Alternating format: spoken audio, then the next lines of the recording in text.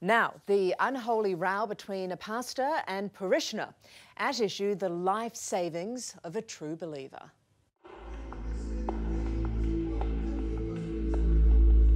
Father, have you sinned? The pastor, and I trusted him 100%.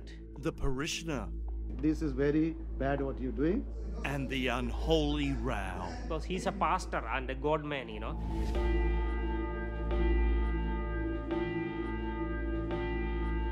At the Pentecostal Full Life Church in Parramatta, Pastor James leads the Mass most Sundays. I'm in the house of God. I'm preaching the word of God. I'm listening to the word of God. I'm worshiping God. And on the side, he runs a busy Indian wholesale food business.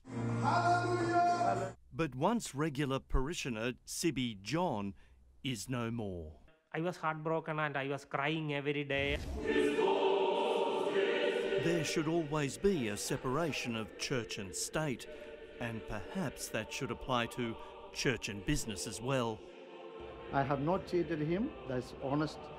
This is the business. In business, Sibby says it started out with some coins in the church plate. Then, And after a while, he asked me for some money for a help. You gave him money because you trusted him. I gave him money from my home loan, ING Bank, from my home loan redraw. The man of the cloth would often request by text Hi, Sibby, are you at work? Pastor needs some money for two to three weeks. Any chance? Thanks, Pastor. Sibby replies, Hi, how much? I am at work. Other times the pastor asks for more. Good morning, Sibby. Trust you had a good night at work. Thanks for the $5,000. It will be great if you can transfer $10,000. Thanks, Sibby. Pastor. He used to call me every day. I want a miracle. Miracle happens every day in your life. A financial miracle was certainly happening. Eventually, I gave around uh, uh, 200 plus, 200k plus. You're a pastor, Yeah, and you're course ringing I'm- him up and you're asking him for money. Hi, Sibby, are you at work? Pastor needs some money. Sibby, thanks for the 5,000. It'd be great if you transferred 10,000. Okay. No, church and business don't mix. You see, the pastor says Sibby was investing in the Indian food business, and the money wasn't a personal loan between them. Will he be getting his money back anytime soon?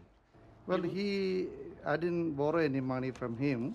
You didn't, Yeah, he was actually came into a business as a partner. as a partner. Yeah, then he Well, ditched when- it. This is your paperwork from your business. It says loan from Sibby John. Loan. This Yeah. went on for years. That's fine. I don't want to talk now because he been to the lawyers. Sibby says he went to lawyers claiming he didn't know he was investing in the Indian food business. When I gave the money, he didn't explain me, disclose, disclose me any condition. That's what I am very upset. Sibby, I need some money help. That was he told me. I have not personally borrowed any money. Okay, he was a part of. He wasn't. business? And I've got a document from you saying that you will pay back that money with interest at 5%. Do you remember that document? Which one? This one on Bethel Company letterhead that says loan received from Sibby John and how much and when. And then there's this email from Pastor James that states it was an investment slash loaned by Sibby, misspelt, and would be paid up in full with interest. How much money do you owe him? I owe him nothing. You owe him nothing. Pastor says the company now owes Sibby his money, and he's just trying to help Sibby get his money back. Not. I work here. That's a problem. You misunderstood. I work for somebody. After inviting me inside, Come to the office. Let's go. Pastor James wanted to explain the way he sees things. Bethel Company is not you anymore. You're not part of it. I am part of you- it still. Yes. I'm running it so that he can get his mm. money from the company. I have Oh, so he mon- does get some money from the Of company. course, I told him that. Problem is, This company is running for 15 years.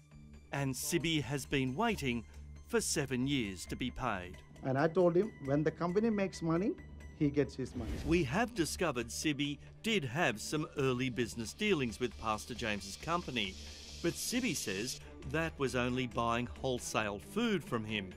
As for the money Sibby claims he's owed, He owe me now 155k total now. in the early years, Pastor James did indeed give back some money, but nothing in recent times, which Sibby says is a far cry from what he was told seven long years ago. They said if you need money back, uh, give, give us two three months advance notice, so they can give the money back. He's got no contract. Where's his contract? Could you show me his contract? When the company makes money, he gets his money because I also need to get money. Have you got a contract with that? Well, we can give you he's- when it's ready. We'll give you. You come back. You give me your number. I'll call you. Okay? Ye have a faith in God. I had faith he would get back to me with those documents, but I'm still waiting. If he give my money, I forgive him. On the walls of Sibby's home is his beloved family. How has this affected you and your family? I was heartbroken and I was crying every day. My family broken into pieces, shattered.